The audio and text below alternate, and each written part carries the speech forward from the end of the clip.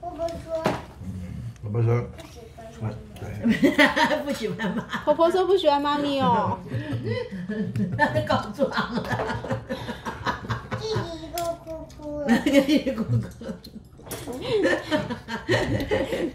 那弟弟喜欢妈咪吗？哟，最喜欢弟弟了。马上告状。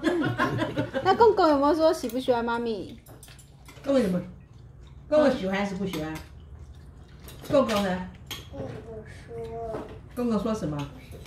啊，公公也说不喜欢，妈妈哭哭了。